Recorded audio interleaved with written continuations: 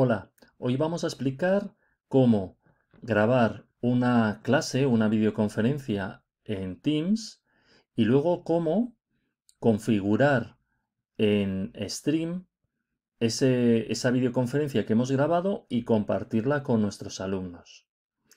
Bien, lo primero que vamos a hacer va a ser irnos a Teams.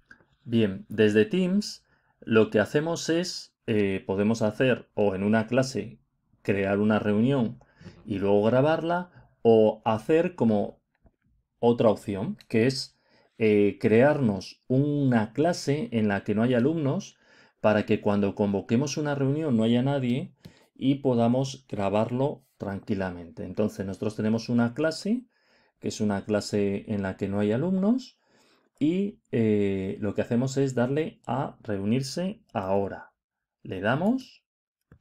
Le damos ahora a reunirse ahora. Y ya dentro de lo que sería una videoclase, lo que hacemos es ir, como siempre, a los tres puntitos. En los tres puntitos se nos abre la opción de iniciar grabación. Cuando queramos parar la grabación, ¿qué tenemos que hacer? Volver a los tres puntos y nos aparecerá aquí la opción de detener grabación, ¿vale? Entonces, le damos a iniciar grabación y ya nos graba todo lo que tengamos por delante.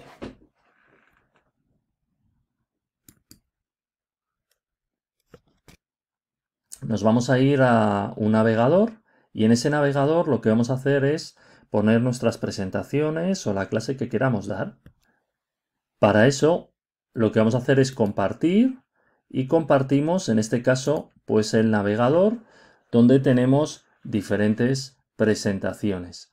En este caso, imaginaros que sobre un tema tenemos aquí nuestra hoja de ruta, tenemos, por ejemplo, también un PowerPoint y también, por ejemplo, pues unos ejercicios. Vale. Damos, ahora mismo se estaría grabando, con lo cual hacemos nuestra explicación sobre el tema que queramos y cuando terminemos, lo que hacemos es irnos aquí directamente a lo que sería eh, Teams y le daríamos, primero a lo mejor dejábamos de compartir, bien, y luego directamente o directamente a más acciones y más acciones veis cómo nos aparece la opción de detener grabación. Bien, pues le damos a detener grabación, correcto, y nos vamos a y colgamos, colgamos nuestra reunión. Bien. ¿Veis qué interesante? Porque nos aparece la grabación se ha detenido guardando la grabación en Microsoft Stream. Entonces, ¿qué es lo que vamos a hacer ahora? Nos vamos a ir al Outlook, al navegador, al Outlook, y desde ahí vamos a poder abrir Microsoft Stream. Acordaros desde Outlook o desde algún punto de Office, le damos y se nos abre varias opciones, entre ellas aparece Stream. Le damos a Stream, abrir en una pestaña nueva y nos aparecería la opción de la carpeta nuestra Stream. Lo primero que hacemos es ir a nuestro contenido, mis vídeos. Y veis cómo ya tengo aquí las grabaciones que tengo, estos son todos mis vídeos, y en este, que es el último que he grabado, veis que pongo reunión general. ¿Qué es lo que hago con él? Lo primero, me voy al lápiz, lo edito, y esto es interesante. Lo primero es le cambio el nombre.